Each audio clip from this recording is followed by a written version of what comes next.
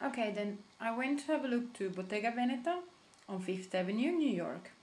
It's a shop with three windows, and we will start with the first one, of course. So it's a huge window, and because of a previous frame, like door frame, I think, they could have divided between male section and female section. Created two big groups that match perfectly together on the overall, but they works apart. I show you. This is the male section, okay? The two suits are matching perfectly. Different style, um, but same color range. And they have the same color range with accessories and shoes. Styling is really good and the message of Bottega Veneta is really clear. The only small thing is that this mannequin is too close to the wall, but it's small particular, really small. Everything works.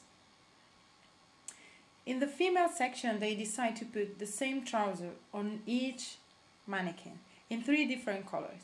This gives strength, the message. This kind of trousers is gonna be our best in this collection and they put the same top and the same styling. All three mannequins are wearing jacket and the styling is really similar. So it shows that you can wear these trousers with this jacket or the other one with a scarf, more trendy, more casual. You can do everything you want. And once again, the color are perfectly matched also with accessories.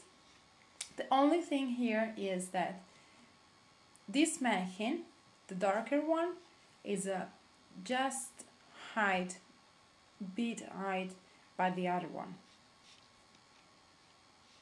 In the third window, we find four mannequins. So the window is small, but it's really full. You can see there is a platform and the height of the mannequins are outstanding. You can see clearly from the uh, neck from shoulder till feet. You can see everything, all the items. And here the message clear is that they have print fabric, which is stripes, gessato. So they decide to put the same style of print of the same style of fabric in the range color which match with the other two windows and they put two dresses, similar style, and two suits, female suits. Plus, they decide to put the same poses at the front and the same poses of mannequin at the back. This is really strong, strong impact, sorry. So strength. color combination of all mannequins, all accessories, is divided by gender female, male. And the space is really well managed.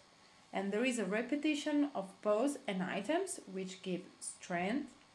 And there is a right balance of accessories. Not too much, not only few, everything is really balanced. What could be done? Small things.